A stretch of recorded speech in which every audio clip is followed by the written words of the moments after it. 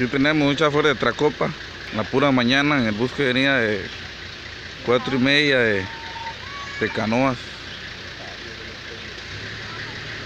Con el bus casi lleno y, y borracho. Ahí está el bus, aquí está la gente que se apió. Una conducción temeraria e infringiendo varias leyes de tránsito fueron motivos para que los pasajeros que viajaban en un bus en Río Claro de Golfito hacia San José llamaran al 911 para denunciar el comportamiento del conductor de la unidad.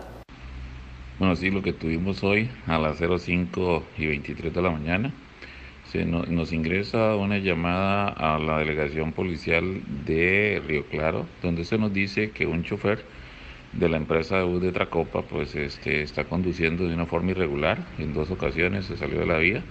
Inmediatamente nosotros enviamos el recurso policial a la estación este, que tiene, a la terminal que tiene Río Claro y logramos ubicar este, al chofer con relación este, a un incidente que se le fue reportado este, en horas de la mañana en la zona sur del país, en esto específicamente en Río Claro, este, nos ingresa eh, una denuncia sobre un conductor de transporte público modalidad autobús, donde en apariencia el conductor se encontraba en estado de ebriedad. Eh, a su vez, en coordinación con el Ministerio de Seguridad Pública, nos apersonamos a la terminal de buses en Río Claro y eh, una vez en la zona se detiene este, el automotor, se le solicita al conductor que este, salga de la unidad y posteriormente procedemos a practicarle la prueba de alcohol. La Fuerza Pública y la Policía de Tránsito intervinieron. Al conductor de apellido Robles se le realizó la prueba de aliento, la cual dio positiva. Dicha prueba de alcohol sale positiva en estado de ebriedad penal. Así las cosas, este, el conductor es sometido este, a lo que es el proceso judicial, es presentado a lo que es el Ministerio Público, específicamente en la oficina de flagrancia, para que este, se proceda con lo que indica el Código Penal en este tema de los conductores en estado de edad penal.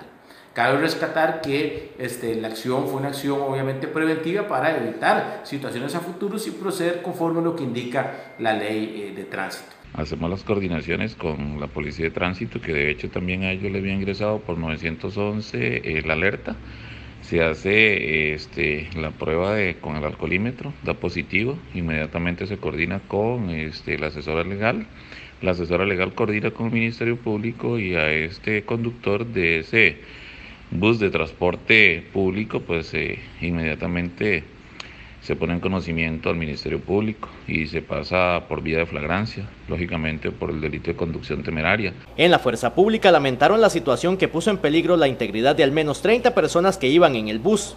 Aquí lo importante es que había muchas vidas en riesgo en este transporte público, hay una reacción inmediata de parte de Fuerza Pública y Policía de Tránsito, igual de la asesora legal y una comunicación expedita con el Ministerio Público y lógicamente pues se salvaguardan las vidas humanas que se iban trasladando en ese, en ese bus y también se genera este, inmediatamente la vía de flagrancia para que se dictamine cuál va a ser este, la sanción que se le va a imponer a este conductor de bus que lo hace de una forma totalmente irresponsable. Este caso quedó bajo investigación del Ministerio Público.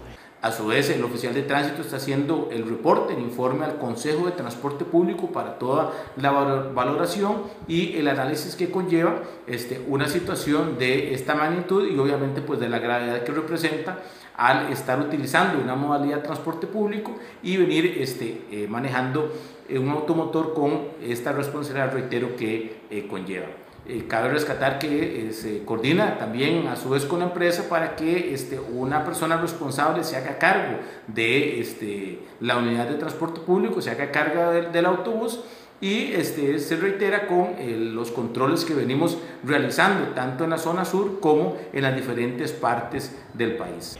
El hombre fue procesado mediante flagrancia en los tribunales de corredores.